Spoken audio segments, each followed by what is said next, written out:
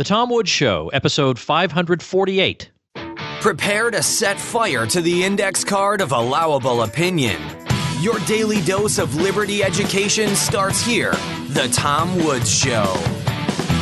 Zappable makes it easy to design mobile apps for local businesses. And since nobody else is going to be approaching local businesses in person with an app proposal, you've got the field to yourself. Check it out at tomwoods.com slash zap. Hello and welcome to episode 548. Today we're talking about water. We're talking about water in the form of lakes and rivers and oceans. We're talking about privatizing these bodies of water. Why you'd want to do it, how you would do it, how it would work, what the results would be, what the technical feasibility is. All these sorts of questions are going to be answered today with our old friend Walter Block. And you may know Walter. He has nearly 500 articles in peer reviewed publications. Of course, that doesn't include thousands of articles in popular publications. He has many books, most famously Defending the Undefendable. But today we're going to be talking about his brand new book, co authored, called Water Capitalism The Case for Privatizing Oceans, Rivers, Lakes, and Aquifers. Walter Block is a distinguished professor of economics at Loyola University in New Orleans and a senior fellow of the Mises Institute. Walter, welcome to the show. My pleasure. Always good to be with you.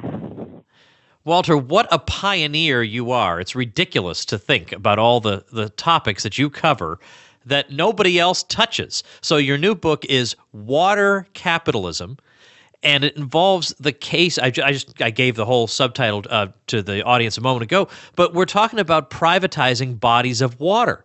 Now, this is something that is going to strike people as just uh, crazy and out of bounds. And yet, for me, it never did. And not just because I'm a libertarian, but my view is what's the difference? It's just because something is wet, that means people can't own it? I, uh, what's the difference? If you can homestead dry things, why can't you homestead wet things? It, it, doesn't seem like there should be any big deal here, but I'm, you know, I'm an unusual person. Let's start off with the obvious question, which would be, and this is actually one of your chapter titles, why bother basically? Why why privatize bodies of water? Aren't they being adequately managed now? Forgetting about the justice of the whole thing, aren't they being pretty well taken care of now? Sure, the government is doing a great job, Tom. uh, no, uh, there are several reasons. One, uh, perhaps the most important, is to show the depth and uh, breadth of libertarianism that uh, we believe in private property and uh, government property is, uh, or the tragedy of the commons is a is a problem, and we just have one more way of demonstrating this. Uh, this book actually is part of a trilogy of mine. Uh, the first one was why we should privatize highways, streets, and roads. The second one is this why we should privatize uh, oceans, rivers, lakes, and aquifers. And the third one that I'm now working on is why we should privatize space, uh, the space uh, exploration, the moon, Mars, uh, asteroids, things like that. So one reason is to promote liberty. Another reason, I think, uh, is uh, maybe economic. Right now, uh, the oceans comprise, oh, 75% of the Earth's surface and land 25%. And I've been trying to get some good data on what the GDP that emanates from each of them is. And my best guess or guesstimate is 1% from, uh, from the water and uh, 99% from the land. And yet the water is, uh, you know, 75%. So there's a, a gigantic disparity uh, between the two. And uh, third is, uh, you know, problems like spills, oil spills in the ocean, Exxon Valdez, for example, or running out of fish stocks, things like that. So th- those are three reasons, I suppose, for wanting to uh, uh, move on toward privatizing uh, oceans, rivers, lakes, uh, whatever. And and the point that you made before. Uh, you know, just because it's wet, we shouldn't privatize it. I, I think is uh, absolutely crucial and, and very insightful. And my my view is that uh, water is just slow moving, uh, fast moving land, and land is just slow moving water. Namely, there's a continuum. Because look, sometimes uh, the water is in the form of ice, and ice is, you know, just roughly as solid as as um, uh, land, and sometimes land moves also. We have mudslides, we have landslides, we have uh, I don't know uh, uh, silt moving from here to there. So uh, there's a continuum between land and water, and and uh, it's true we can make a distinction. Uh, we use different words for the two of them, but still uh, there's a continuum, and and what's good for the one, uh, at least we should explore whether it's good for the other. We shouldn't reject it and say, well, you know, because it's wet, we can't privatize it. That's crazy. Tell me a little bit about your co-author because my understanding as i recall the beginning of this project was that you brought him on because he had some expertise in some of the technical questions related to water that you might not know about. Yes it's a very interesting uh, issue. I wanted to uh, uh, well, I did the uh, road privatization, road, streets, and highways, and then I wanted to get onto the water, and then I started running in all sorts of problems like water pressure and, and currents and things like that, that I, you know, uh, a Jewish boy from Brooklyn would have no business knowing about. So I uh, took out I, don't think an ad, but I, I wrote somewhere, maybe on the Lew Rockwell blog, I forget where it was, probably there.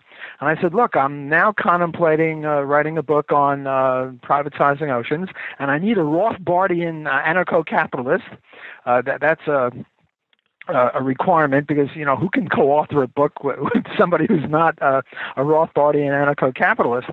And then I said, uh, here's a, a, a problem, uh, some sort of problem, and, and it's in one of the chapters now uh, some lake in, in Florida. They were having problems with it. And I knew the, the right answer, namely privatize, but I, for the life of me, I really couldn't fill in the, um, in the details. So I said, look, please uh, write me an article and, uh, you know, uh, I'll pick the one that I think is uh, the most conducive to me, or the the one uh, where I, I have the most in common with the author. And uh, four or five people wrote essays on this, and I picked the one uh, written by Peter Nelson, my co-author, and I said, "Look, uh, this is a very low-risk thing because it's an interesting question about this lake in in Florida, and um, if I don't pick you, you know, you're free to publish it somewhere else. So you're not going to lose much by writing it uh, for me, and uh, the winner uh, will get to be my co-author, and uh, we'll go on from there. And Peter Nelson wrote a brilliant essay on this, and uh, I chose him, and I never regretted it. And indeed, uh, he he's an engineer. Uh, of liquids, which is uh, very important. And he's the one who I'm now co-authoring the next book in this series on uh, space, uh, privatizing the moon, Mars, uh, and asteroids and stuff like that. I just, I think I just saw an item. I, uh, I must have, you must have seen it as well on Wenzel's site about how it's it's considered legal to own an asteroid. Did you happen to see that item? Yes, uh, thank goodness okay. for our president. Um, although um, I sort of have misgivings about that. The the most recent thing is that Obama wrote that if you uh, go to an uh, asteroid and you homestead it and you privatize it, you get to own it. And uh, previously, the law was uh, space uh, will forever be in the commons, namely, no one can ever own anything privately, only governments, uh, presumably. And on the one hand, this is obviously good because you know uh, we fa- we libertarians favor privatization and homesteading. On the other hand, it sort of seems uh, a little bit problematic because who the hell is he to be making rules about uh, what goes on in space? Uh, he he's only the president of the United States, and the last I uh, uh, knew, uh, the United States is on Earth. It's got nothing to do with the moon or Mars or asteroids or anything like that. So why the temerity on his part? But you know, given that he has the temerity, I'm, I'm glad he came out on that side. He could have uh, come out on the other side. So I sort of welcome it, but I'm a little ambivalent about it. Well, I had a feeling, uh, you know, I knew that the one silver lining to his election was I had a feeling he was sound on the asteroid question. So I've been totally vindicated on this, as it turns out. All right, let's let's stick to water though. Let let's start easy. Let's talk about a lake because with rivers you got moving water, and with the ocean, well, it's the ocean. So let's talk about a lake. How does private ownership of a lake? What does that look like? Are there examples of private ownerships of uh, private ownership of lakes, as far as you know? Yes, uh, the uh, very small little lakes of an acre or two uh, are privately owned, but don't say that they don't move because if it doesn't move, it's totally stagnant. Although some lakes are like that, Uh, but right, but I'm thinking about the usual downstream problem that I pollute upstream and it floats downstream to right. the, the river of somebody else's property. I want to get to that later. But but in dealing with a lake, what what would a private owner do with a lake? What would it look like?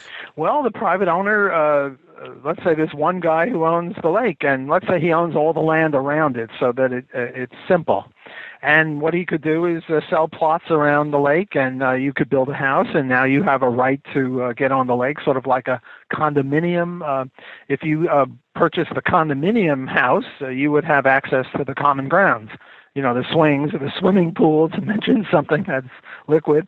So just think of this lake as like a big swimming pool.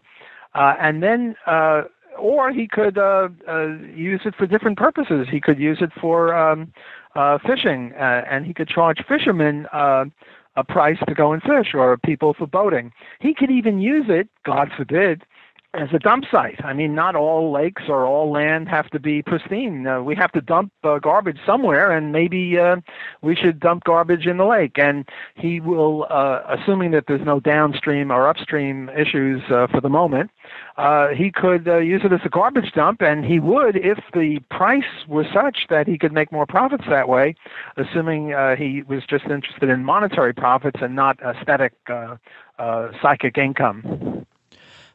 So, in other words, it would just be a question of um, just figuring out what the highest value productive use of the lake would be. Maybe it would be opening it to the public for swimming or fishing.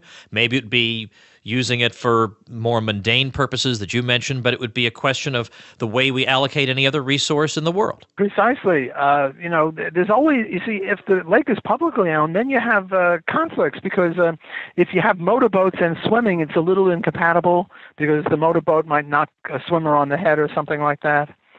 Uh, and what he could say is, uh, in this section of the lake, you can have motorboats, but over here, you can only have swimming or whatever. Uh, in other words, there are always alternative uses on all scarce resources, and the owner, just like the owner of a, a patch of land, look, suppose instead of one square mile lake, it was one square mile land.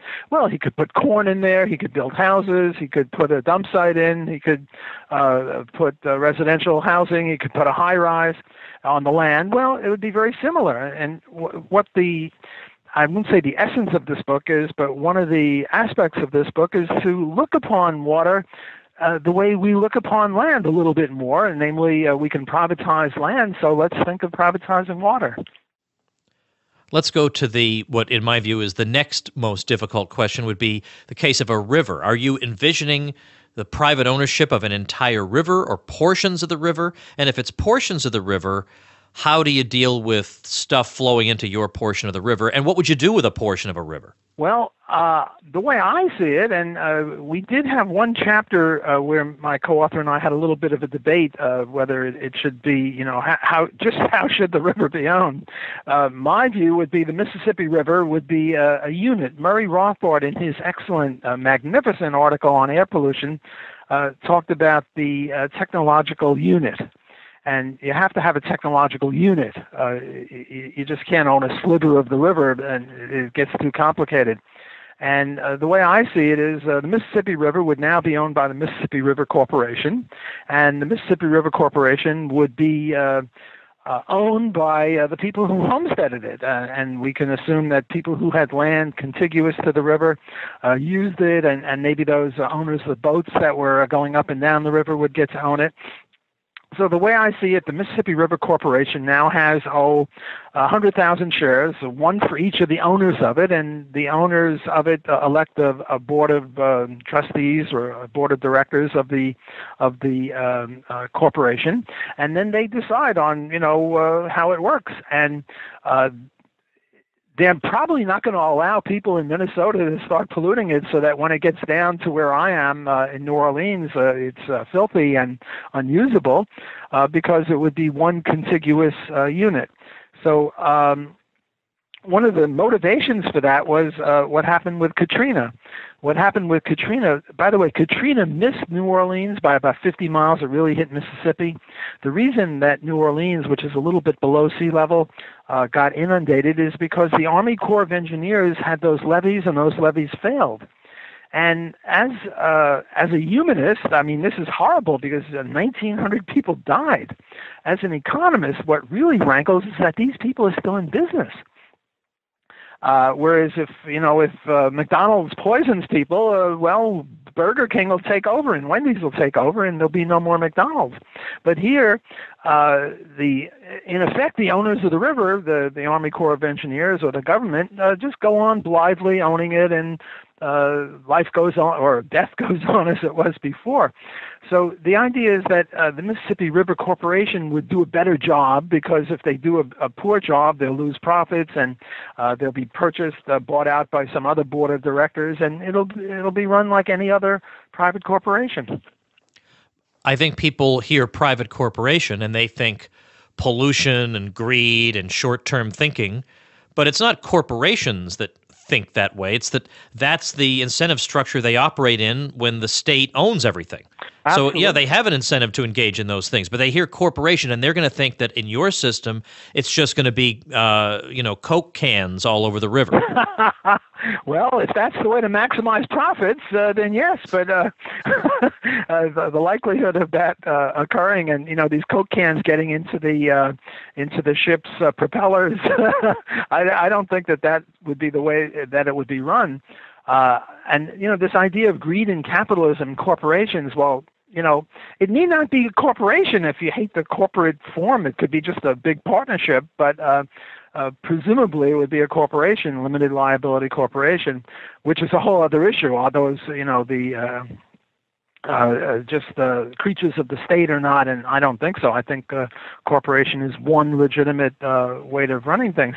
Another problem, whenever people hear private enterprise, is not only greed and capitalism, uh, but they say, well, what about the poor? You know, the poor would now have to pay for something that they get for free, and uh, th- this would be a criticism again, not just of a, a, a watery corporation, but of uh, uh, any kind of corporation. Uh, you know, we now name uh, the highways called the freeways, and we think that you know we get them for free. We should really call them taxways because people pay for them. And you know, the question about the poor is, you know, where are the poor better off? Are the poor better off in a largely capitalist society, which is very wealthy? Or are they better off in uh, I don't know uh, Venezuela or Cuba or, or North Korea, where um, uh, the government owns everything and the people don't have to pay any money for anything. Everything is free, and uh, we all starve happily, uh, happily ever after.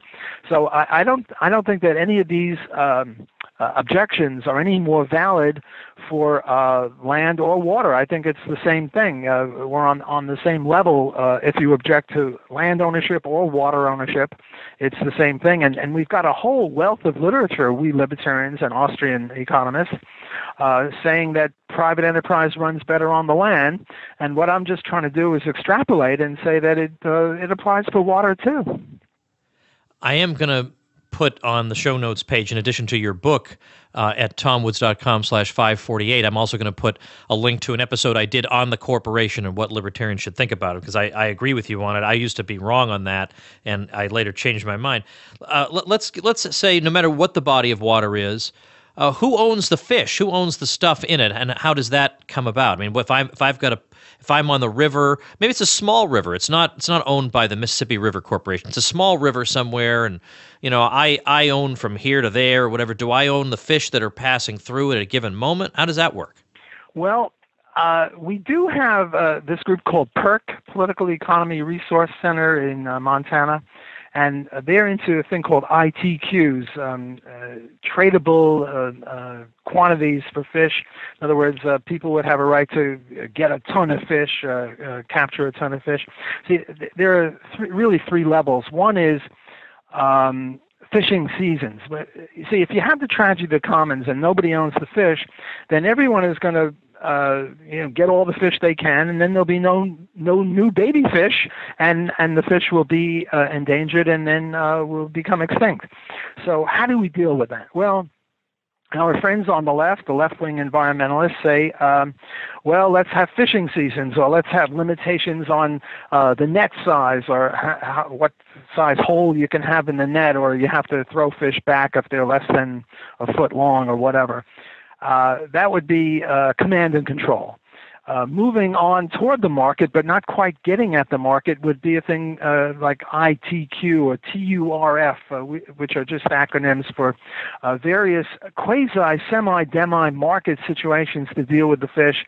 Namely, we have a bidding for the right to capture or, a certain amount of fish, and this would be the equivalent of um, in education. Um, what do they call it? Uh, Um, where you don't have private education, but you have vouchers. Oh, vouchers. school vouchers. So that would be the equivalent, sort of a Chicago-esque way of dealing with the problem.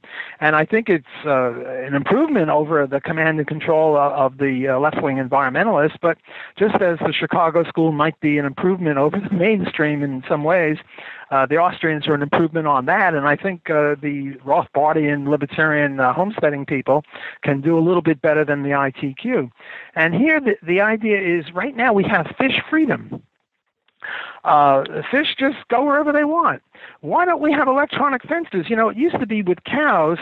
Uh, before we had barbed wire, they would um, uh, what do you call it? Brand them. Uh, they, you know, the uh, you brand the cow. Well, we now have the technology to brand um, whales uh, you uh, shoot a uh, uh, some sort of electronic device into the whale, and that's your whale. And uh, yes, you can have poaching, but uh, you, you had cattle rustling too.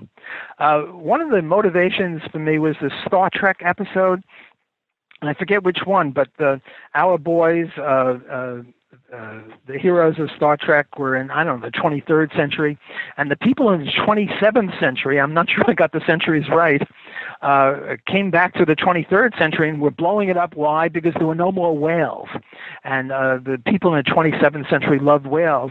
So our boys, uh, you know, uh, uh, James Kirk and and the guy with the funny-looking ears, had to come back to the 20th century to get some whales to bring them back to the 23rd century. So why is it that whales are going extinct? Uh, or are endangered again because of the tragedy of the commons. If you don't own it, you tend to overuse it or use the resource too quickly. So one way is to have these ITQs or the school voucher uh, equivalents for whales. Another way is uh, to own the whales. Now, look, if you own a say a, a thousand uh, square miles of ocean and you put electronic fences around there, then we move from the hunting and gathering stages, which we were once on land and we are now on water, to uh, uh, farming uh, or uh, cattle raising. Only, look, uh, those whales are just cattle with, with funny looking fins and they don't have horns. But from the economist's point of view, we would treat the whales just as we treat cattle and you know, uh, the, the cattle never went in within a million miles of extinction, whereas the buffalo, which were not owned, uh, almost uh, went extinct. Well, let's uh, let's cowize the uh, the uh, the whales. Uh, right now, they're they're buffalo whales, and we want to convert them to cow type whales, namely private ownership. Uh, you might say, well, what do you mean electronic fences? We don't have electronic fences. We can't corral whales. And the answer to that is we have the technology to do it. Uh, if we can get to the moon, which is a whole other issue, we can certainly uh, get a bunch of uh, whales and porpoises and other guys like that and fish uh, to go where we want them. So, uh, I mean, we do have fish farms. You know, there was this interesting case. Um, uh, who was the bet? Julian Simon against Paul Ehrlich, and they had a bet. Are we running out of resources? And uh, our guy Julian Simon won. Whereupon Paul Ehrlich said, okay, I'll have you another bet uh, within 10 years or 20 years or whenever the fish are we're going to go extinct and uh, or are going to uh, become more scarce uh, and higher prices. And Julian Simon said, "Okay, I'll bet you, but we're not just counting um, ocean fish; we're counting uh, farm fish." And then um, uh, what the, the other guy, um, Paul Ehrlich, uh, wisely declined to have the, the the bet. In other words, uh, fish in the wild, you know, one percent of them or very few of them survive, whereas uh, farm fish, ninety-nine percent of them survive. So what, all I'm saying is, let's have farm fish in the ocean. Let's have uh, uh, electronic fences, and you know the whales just can't go where they have to go. Uh, where they want to go, they go where we want them to go, and uh, that way, uh, you have your whales, I have my whales, and my whales stay on my property, and yours stay on your property because they got these electronic things in them. When when they get to the electronic fence, uh, they they just can't go where they want to go, And so what I'm trying to do is barnyardize, if I can use that expression, uh, the fish and the whales, so that we don't have the problem of uh, Star Trek where all the whales go away and the people from the future are going to kick our butt. All right, there's a lot more water stuff to talk about, but let's pause for just a minute for this message and we'll get right back to it. One of the things I love about the free market is that over time, people become able to do extraordinary things even when they don't have specialized training in a particular field. For example, Zappable makes it possible to design beautiful, functional mobile apps for local businesses. A restaurant can do takeout or reservations through its app. A bar can send out messages to everybody with the app telling them about a special going on that night. A doctor's office can have an appointment form. Every business can have all its social media platforms in its app. There are a ton of things you can add to these apps and sell them to local businesses, or design them for charities, or again, use them yourself. Check it out at tomwoods.com/zap. And don't worry, they give you step-by-step tutorials and even a guide for how to market them. TomWoods.com slash zap. Let's talk more about how ocean privatization could work because I think that is the toughest for people to see. I think, well, in addition to the technological issue, which I think you could deal with with the electronic fencing, I think there are these. Uh, you know, again, the presumption is that the private sector just wants to pollute, but it wants to pollute because there's no private property. But if there is private property, the incentives, of course, would be different. But I think people would imagine a, a dystopian situation in which some corporation would own the Atlantic Ocean and their their thinking, I think, is that they would then impose all kinds of arbitrary restrictions on people's free use of the Atlantic Ocean. Are you able to deal with some of these wild acts of speculation? Oh yes, yes. Uh, we've got a chapter on on that very issue. Uh, there are several complications. Uh, first of all, the pollution. I recommend Murray Rothbard's uh, essay, which appeared first in the Cato Journal in 1982, called "Air Pollution." Uh, the way we libertarians see air pollution or water pollution or smell pollution or noise pollution is as a trespass and the first guy that homesteads the the, the stuff, uh, whatever the uh, benefit is, uh, is the owner of it. So uh, tra- I don't think we really have to worry about pollution because uh, pollution is a trespass, and if we had law, legitimate law, uh, a guy who uh, trespasses somebody else's property would uh, soon be uh, made to pay damages and be given an injunction, which would be a, a, a letter from the court saying you keep doing that, we're putting your butt in jail. Okay, so that that's the pollution issue, and I, I, I think that we have uh, solved the pollution issue, uh, certainly in the air and and in uh, noise and in smells and things like that. And uh, we do go into that on water, and there's no real difference in principle. But now let's talk about. Uh, apart from the pollution, how would you uh, conceptually think of privatizing the Atlantic Ocean or the Pacific Ocean? Well, you get into one complication, and that is you can't have privatization for non uh, for non-scarce goods. And the question is, is the Atlantic Ocean yet scarce? And uh, this, uh, the answer to that problem is sort of complicated. The, the, I guess the right answer would be yes and no. Uh, let me use an analogy. Uh, airplanes. Right now, when airplanes fly, they have to be like 10,000 feet from each other. So if you're going north, you're at, uh, I don't know, 5,000. If you're going south, you're at 6,000 feet, uh, uh 7,000 feet. And uh, is there scarcity there? Well, it's sort of getting uh, a little scarcer because we get more and more airplanes, and the airplanes not only have to be a, distant height from each other, but also a distant uh, uh, length from each other. Namely, you can't have uh, one airplane uh, following another one 10 feet behind. You have to be a mile or two or three behind.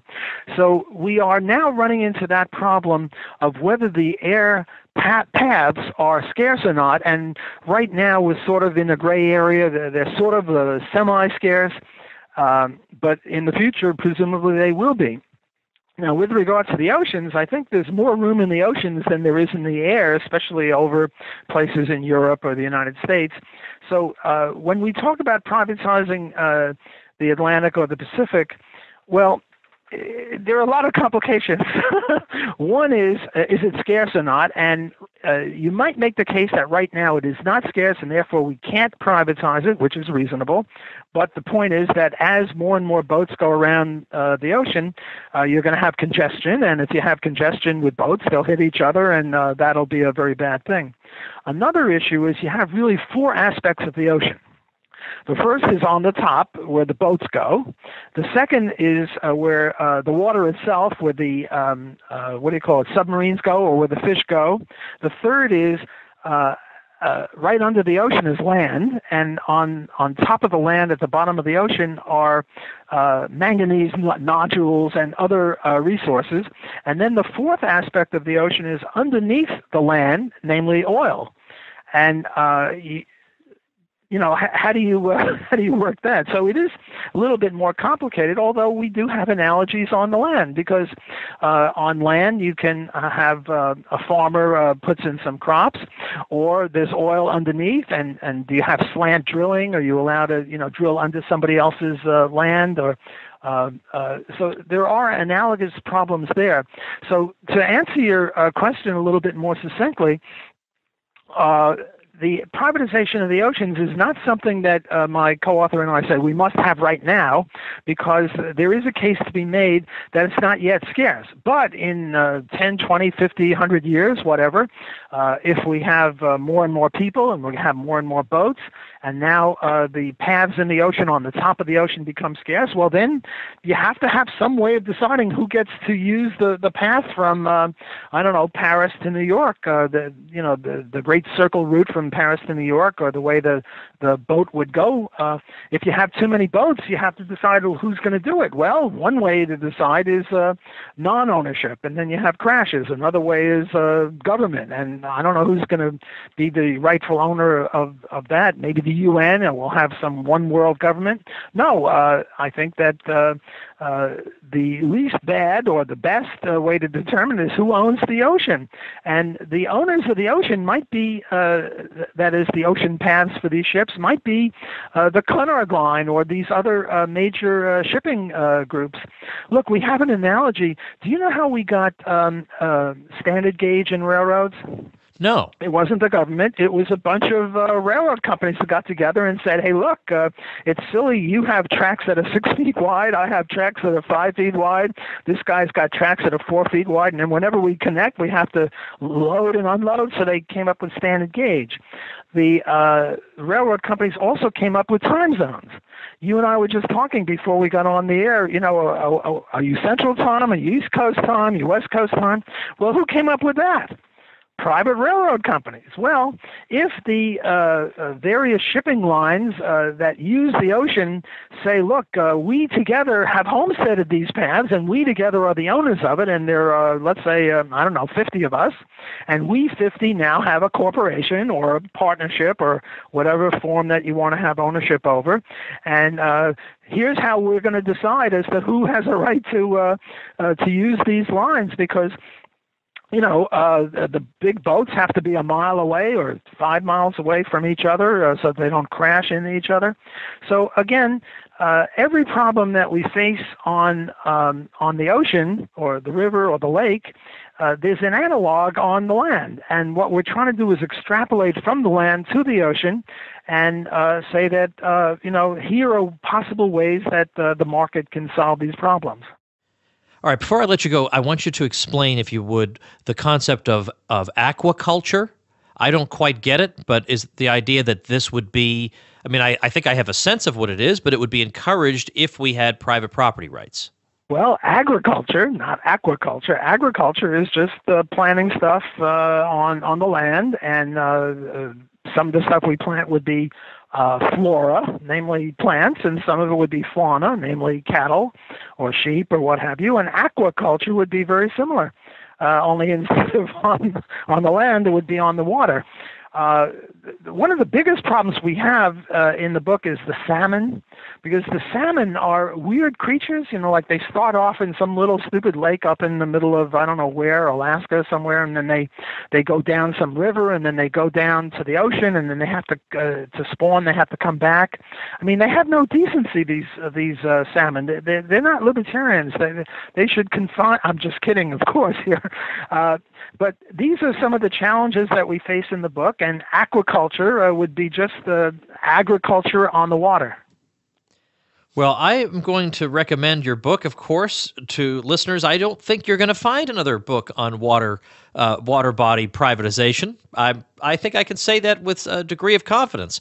But this book that uh, Walter Block and his co-author have just released, Water Capitalism, the case for privatizing oceans, rivers, lakes, and aquifers is the place to go, and you're going to get a lot of uh, very important food for thought. So, uh, Walter, I, I, all I can say is I can't wait for that book on outer space. And when I told uh, Heather about it the other day, her response was, and just shows how long she's hung around with me. She said uh, well, how can you homestead anything in outer space? okay, all right. But but I think the idea is if you did get out in outer space and you homesteaded, you should be able to have title to it. Is that what you'd be saying? Absolutely, yes. So the moon, uh, you know, we have an an analogy here uh, with, with, the water, with the the roads, with the the moon. I mean, you know, do you suppose? Uh, uh, somebody lands on Mars. Does he get to own all of Mars or a little bit of Mars? How much of Mars?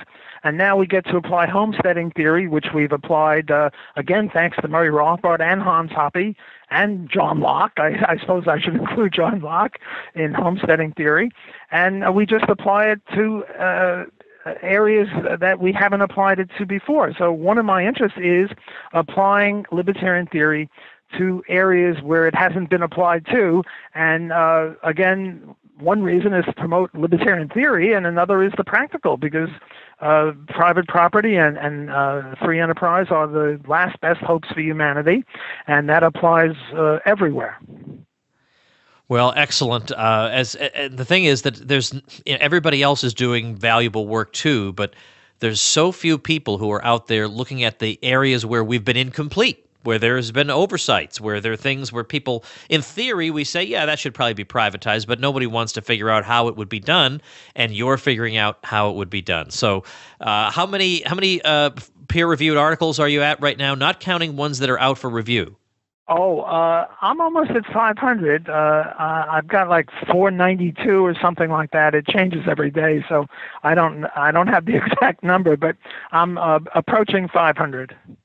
Well, listen, are you going to are you going to are you keeping track enough so that when you actually hit 500 you'll know instantly or is it like 3 months later you'll be going through your files saying, "Oh my goodness, I'm at 507." No, no, no, I keep track.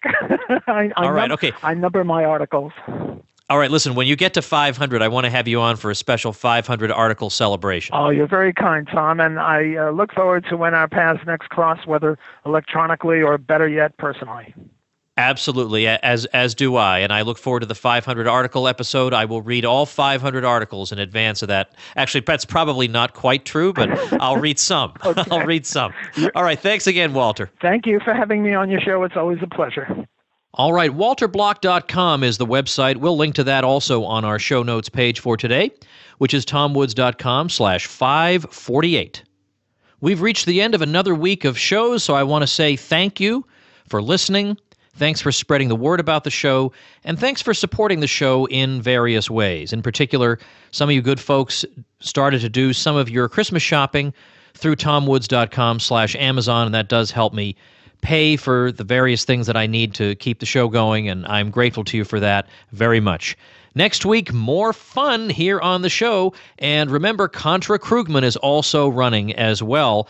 Episode 12 is released this week. And this week, Krugman actually gets something right. So we are wearing him down, obviously. What other conclusion can you draw? Check that out at ContraKrugman.com. See you next week. Become a smarter libertarian in just 30 minutes a day. Visit TomWoods.com to subscribe to the show for free, and we'll see you next time.